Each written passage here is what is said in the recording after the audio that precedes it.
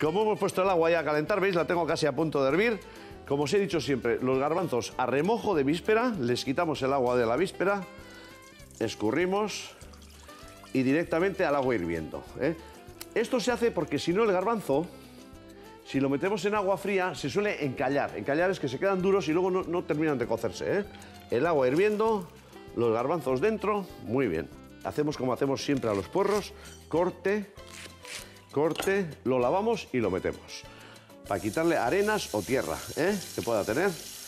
Y adentro, muy bien. Cerramos la olla. Ahí, cuando empiece el vapor, 20 minutos. Y los garbanzos los tendremos cocidos.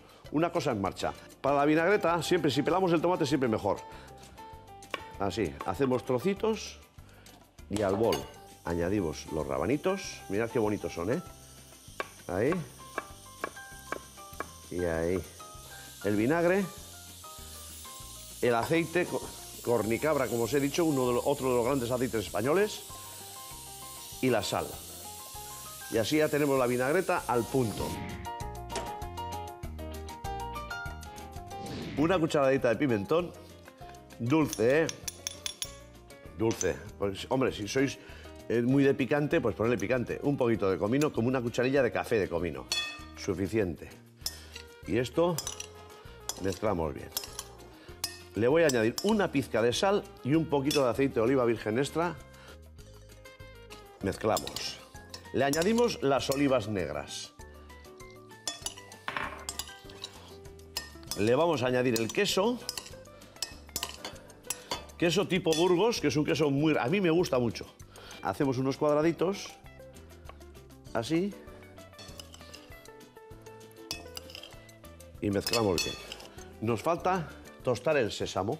Encendemos el fuego. Así. Y ponemos aquí el sésamo. Ya veis que está blanquito, blanquito. ¿eh?